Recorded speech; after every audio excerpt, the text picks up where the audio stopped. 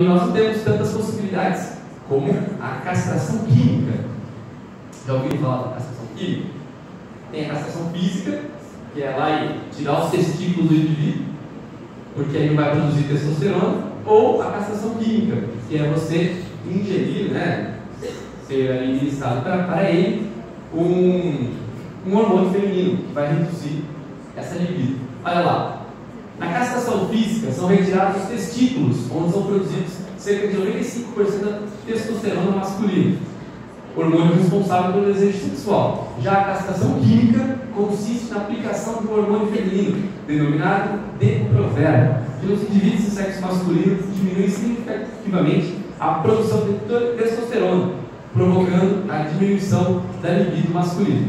Alguns países que adotam a castração química, Suécia, Alemanha, Dinamarca e os estados norte-americanos, Texas, Montana, Califórnia. No Brasil, há experiências sendo realizadas em condenados por abuso sexual com consentimento das pessoas, pela Faculdade de Medicina da região do ABC Paulista, ambulatório de transtorno da sexualidade.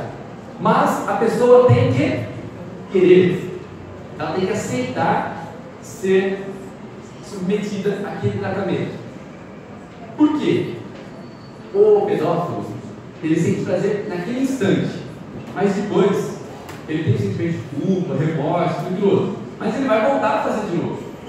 Então, se ele consentir em ser é, submetido a esse tratamento, aí tranquilo. Mas no Brasil, dificilmente o projeto de lei dessa natureza passa, porque o artigo 5 inciso 49 dispõe que é assegurado aos presos o respeito à integridade física e moral. Qualquer intervenção arbitrária sobre o corpo ou pesquisa da pessoa humana torna-se inviável juridicamente.